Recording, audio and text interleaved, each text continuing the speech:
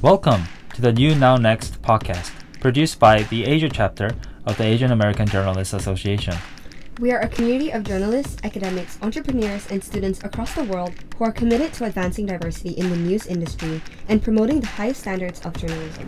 Each year, AAJA Asia holds its annual New Now Next media conference, N3Con, to bring together members from across Asia.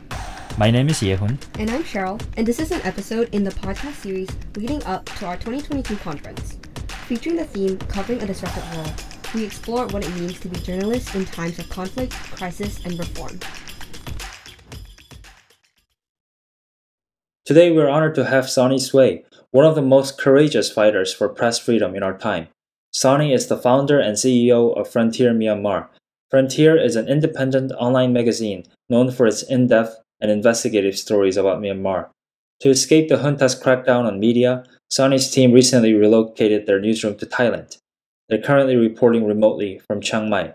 Sonny, thank you very much for joining us today. I want to start our conversation today with a question about your country. It's been more than a year since the coup in Myanmar, and perhaps because of so many crises in other parts of the world, it's not getting the attention that it deserves. What is it like in Myanmar? Have the circumstances improved or worsened compared to a year ago? Oh wow, uh, it's a it's a good question. Annals all the time. Uh, since Ukraine war uh, started, I think Myanmar was completely underreported. Especially there is pretty much no Myanmar stories in Europe at, at this point. So thank you for this question. The situation now has been worse rather than getting better. You know, when we study physics, there is a rule that when something is descending, uh, it will always see the floor and always bounce back. So Myanmar situation hasn't seen the floor yet, uh, a resistance yet, right? So it's still going down, and the situation's not getting better, and I don't see any immediate improvement uh, or anything slowing down in the near future. So there will be more and more fightings, and there will be more and more bombings, uh, airstrikes, a lot of ambushes, a lot of killing, a lot of torture, a lot of arsoning, and they're basically burning people alive. So you can imagine how bad it is in Myanmar. So the situation is still really, really bad. Uh, compared to last year, it's even worse than last year now. That is quite disheartening to hear. Um, the fact that the situation is worsening that makes Frontier's mission even more relevant and critical for Myanmar. For our readers who may not be familiar with uh, Frontier, could you tell us what it does and what is Frontier's mission? Oh, thank you. Yes, uh, will do. So we just turned seven years. The first of July, a few days ago, uh, Frontier it's um, turned seven years old. So we launched in July 2020, and since the launch, the Frontier has a transaction from a weekly magazine focused on news and current affairs to Myanmar's leading independent English language publication uh, with a regional reputation for the high quality long form and uh, investigative reporting. So we used to have a print version, but due to the current political crisis, we had to kill print and we are now 100% digital. Uh, our mission is to be a rare unbiased voice and standing for transparency, accountability, and inclusivity, even as the country's political climate has deteriorated significantly, affecting the ability of Myanmar media outlets to provide balance and coverage on the topics important to Myanmar's current crisis and used to be Myanmar's democratic transaction. So that's the role that we play. You mentioned that Frontier produces English contents. Who's your target audience and how do you hope to influence them? Our target it's quite niche. It's basically diplomats, NGOs, business leaders, journalists, and uh, academics. So basically, people with money, people with education, all the movers and shakers, basically, yeah, decision makers. So we are very lucky to have these layer as our core readers. You said Frontier is not doing print anymore. Uh, you're going fully digital. In your opinion, how does the emergence and rise of internet news affect media freedom? Are they related? Oh boy. So let's talk about Myanmar. uh, Myanmar landscape. In 2012, 2013, when the government privatized the telecommunication sector, you know, all the international players come in, like uh, Norway's, how do you say, what's it called? That DTAC in Thailand, Ooredoo from UAE, Telenor from Oslo, and NTT Docomo from Japan, Viettel from Vietnam. So they all came in and invested in Myanmar. So since then, you know, the way people consume the news has completely changed. And that's how, you know, like what happened globally, the print basically very difficult to survive. And most of the mainstream medias uh, basically disappear, especially because of the pandemic and because of the coup. Social media nowadays in Myanmar has been very toxic I just can't read Facebook every day now because it's really giving me negative vibes and make me depressed and stuff like that. So it's all about digital media now. The print medias are basically very little print media houses are surviving. And I would say 98% of the print media has gone basically, right? Because of the economic problems and the political problems. So digital media has been everywhere and very powerful and set to see that they are not, not very responsible and accountable as they should. The news industry is very competitive and there are bigger newsrooms with more resources. Uh, so, how does Frontier differentiate itself from other news media? Well, basically, uh, two things or three things. I would say that, first of all, the way we report, it's very rare investigative newsrooms in Myanmar, and I think we are one of the very few. A lot of people focus on hard news and breaking news. Uh, we don't do that. We just stick to our investigative pieces. And we do cross border stories. Uh, we work with different media outlets in Europe especially in Denmark and Germany. And uh, we tackle all the social issues and, and human rights abuses in Myanmar. And then we run these articles globally, basically. Also, we, you know, since the first of February 2021, after the military coup, most of the medias uh, either went underground or went into exile. So we are one of the exile medias. We also left Myanmar October 2021 and we successfully relocated in uh, Thailand. So we are operating from Thailand now. Even before the coup, even during the pandemic, we never change our voice, our tone. We stick to our stand, where we stand, and uh, we stick to our tone. Most of the news outlets, I think, now seem sway to activism because of course everyone is very upset with how junta is treating uh, the citizen of Myanmar. You know, everyone is against military at this point, so you will see a lot of activism way of reporting while we keep our journalism still now. So even before the coup and now during the coup, after the coup, we haven't changed our tone. We are as critical as we were. So that's another thing.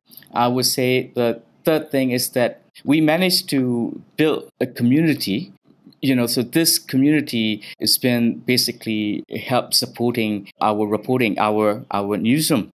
We managed to launch our memberships program only one month before the pandemic, and that's how we stay ahead of the curves. I think that's the difference between uh, Frontier and its peers. We switch from old school advertising based revenue model to readers revenue model. So that's another thing that we did. And yeah, we stick to our strength, which is long form info- uh, reporting.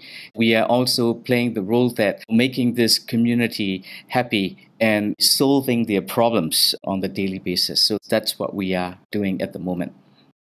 You mentioned being an exile media, meaning you got out of Myanmar and now you're reporting remotely. What were the challenges that you were facing uh, that made you decide moving out of the country was the solution?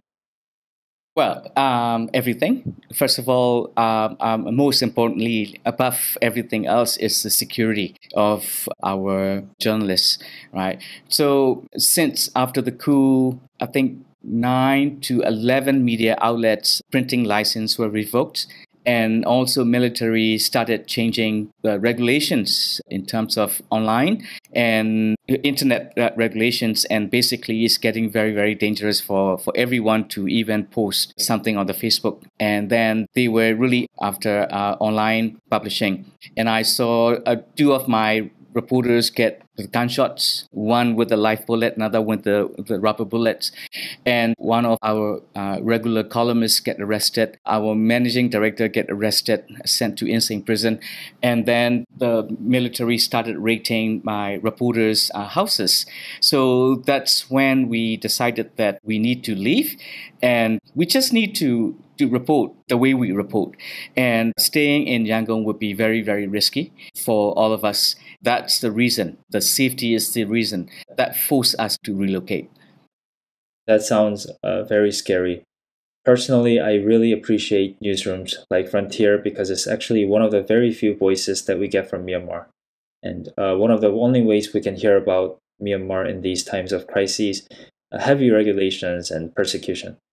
So, my question to you is what has been a rewarding part about running Frontier?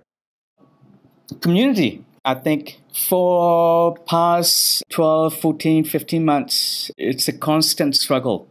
You know, there's a saying in, in, in the tough situation, only the toughest survive. And we try our best to balance the whole situation because I mean, can you imagine? You know, we were having a second wave of pandemic, which is a Delta virus in Myanmar. A lot of people lose their lives because of Delta. It's been very, it did a lot of damage to, to our society. On top of that, Delta, it's a coup. So that make everyone united as a whole. I'm very lucky to have my team who are always very, the team is very supportive. We are always on the same page. We are always heading to the same direction. So it really counts when we go through a lot of problems. And we managed to just stick to each other as, as a whole, as a team. And then we went through all the, the uh, difficulties. So I think the bonding is very, very important. This is nothing like like the ordinary times. This is a very tough times, and uh, we really supported each other.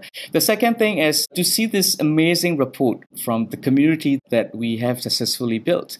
And without the community, I don't think we would be able to survive. And I think that's for sure. And I think that's the two main things that I get. I think we are a lot more tech savvier because the technology, it's a remote publishing. And we are all spread out to seven, eight different time zones. You know, we are operating from all over the world we managed to basically put everything together and resume our reporting as even before the coup. So I think everybody worked really hard. Everybody understand each other very well. Most importantly, our readers, our communities understand what we are going through and we support it all the way. So it's very good to see that sort of uh, achievement while we are in really big trouble.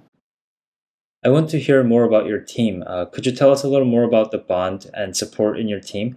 How is your team supporting one another? So, Frontier, we don't have any exile experience, unlike other media organizations. So, we don't really know what to expect. For example, like I thought uh, relocation is going to be very easy because I still have my same team and the same publication. It's still a frontier, right? But it turned out to be completely different because this is uh, a new country, different restrictions that we have to be aware of, different rules and regulations that we have to follow. I think the most challenging part for me is to motivate everyone to get back to, to normal and report. It's almost impossible because with the combination of the coup and the pandemic, we had to suspend almost six months. So after six months, you know everything is always difficult to resume especially when we fled we run away right? Everybody had to run and everybody had to leave the family behind. So in the beginning days are always difficult because of the homesickness. We don't speak thai language. We you know some of my team don't speak good English. To be honest, um, some of my team members don't even know how to use uh, Google Map. So everything is so new for everyone. Now we are a big family away from the family. You know what I'm saying? We just need to stick to each other, support each other professionally, personally. When we get sick, we, we really have to take care of each other. Stuff like that. I think that's very plus side for us. And we stay close to each other. We cook together, we eat together, we see each other. We go out on the weekends together, we hang out, you know, stuff like that. So it's it's uh, something like you're going back to the university, you know, away from home, and then you end up meeting, making new friends, and then, you know, same thing, right? This team become a very close family. So it's a really good thing to see. You seem like you're very grateful to have your team, but I can tell you that your team is very lucky to have a leader like you. Oh no no, I am luckier than than my team to to have my team. so before uh, starting Frontier, you went through some very difficult times in your career. Uh, you were in prison for more than eight years. You faced persecution, and I, I imagine the hardest part now would be having to see your team in danger. Uh, so, Sonny, what keeps you going? Correct. Well, I've been there, I've done it. Prison is where you don't want to be. Trust me. So every decision that we make, we make collectively as a team. You know, it's always good to have someone with a prison experience. So I know when I think I know two, three steps ahead of everyone when and where the danger is. Also, most importantly, how to, to survive in prison. Prison survival is also very important. So I always keep my team in the full alert, telling them even when they get arrested, what are the expectations that they should have and what are the worst case scenarios that they should be expecting, uh, stuff like that. Whenever someone get arrested or detained, I just stop the whole operation and tell everyone to run. because the security risk is, is the highest among us at the moment. Why am I still keep on going? Well, it's very important to do what we do, especially time like this. I mean, there are millions of rumors going around on social media. People are panicking. People are very scared. People are very confused.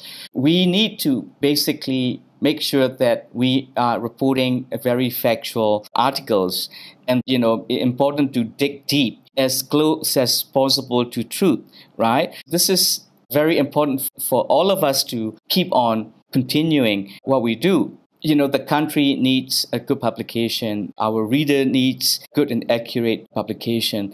And there is no way we will back off at this time. So we left the country 7 months ago and we are nearly full swing now back to normal.